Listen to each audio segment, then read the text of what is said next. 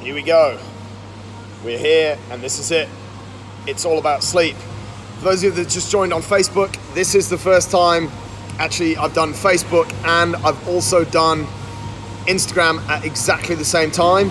So hopefully it works. If it doesn't work, well, you maybe let me know. But this show this week, folks, is going to be all about sleep.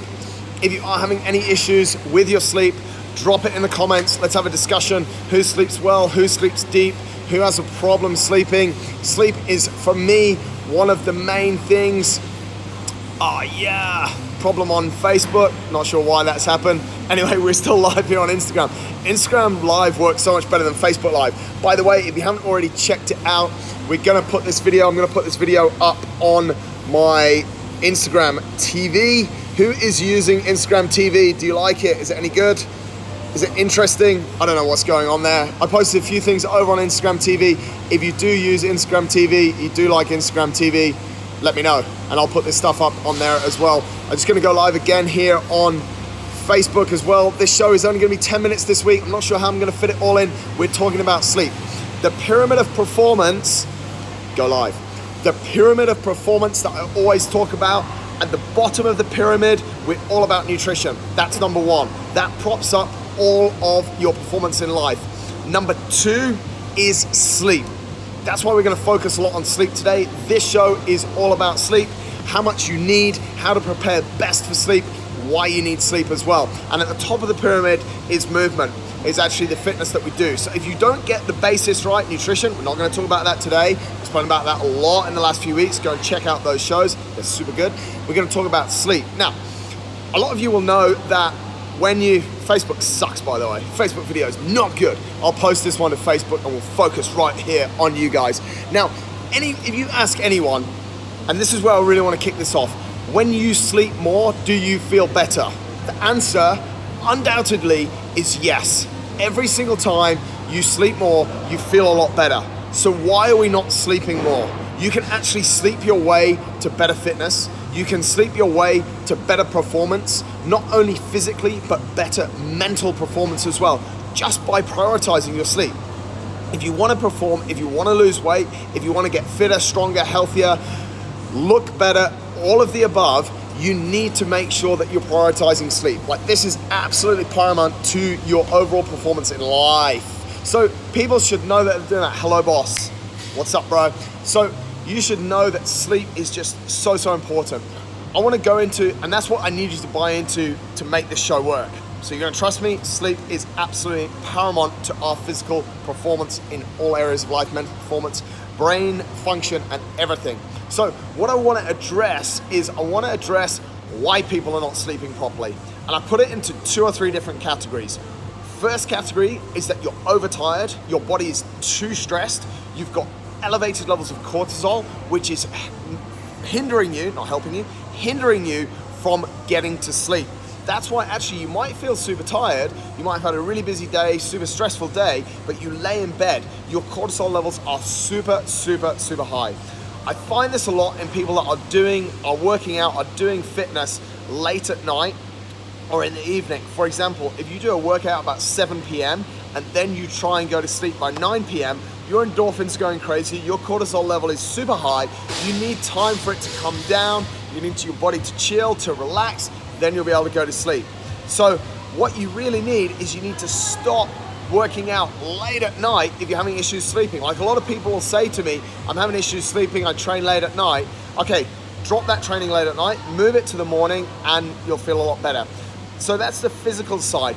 Mental stimulation, as Carlin just put in the comments there, mental stimulation before bed or in those hours leading up to bed is causing us all sorts of issues when it comes to sleep and the quality of the sleep you're getting or the ability that you're having to basically fall asleep or the inability you're having to fall asleep.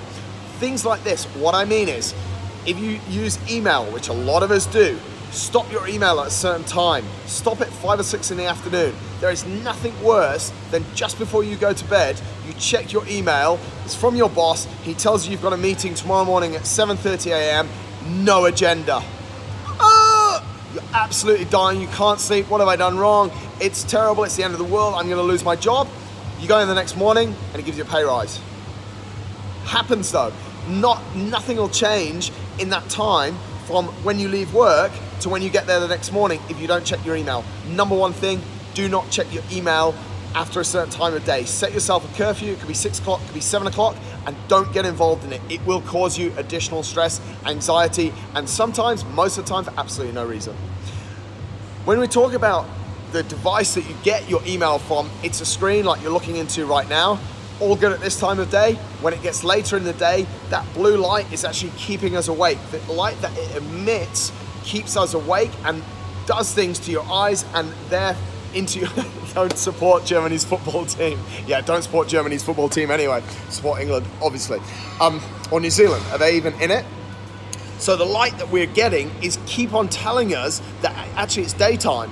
It's waking us up. So if you've got your device in the last few minutes before you go to bed, the signal's coming in simple terms, the signal's coming from your device into your eyes, onto your brain is that it's daytime. So your brain starts to wake up. Put your devices away. One thing that does cause anxiety as well, and we've seen it a lot in the age of social media, is what happens on social media. Okay? Technology is moving, social media. Stop checking your Instagram, stop checking Facebook at night, and stop giving a shit about what everyone else is doing and getting stressed out that such and such is at the pub and I'm not there and I'm going to bed, but then I can't go to bed because I've got FOMO. Don't check it. Same thing. Put all, if I could say one thing to make sure you get better sleep, it's just to absolutely prepare better for your sleep. That's really one of the main things that I want to get through in this short show.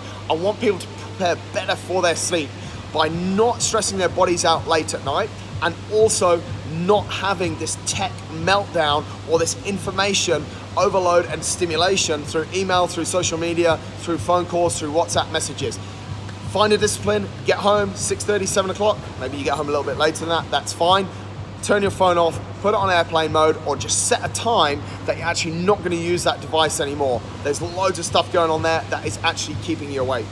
Another thing that's keeping you awake, so the third thing really that's keeping you awake that I want to hit on today is the food that you're eating in the hours before you're going to bed.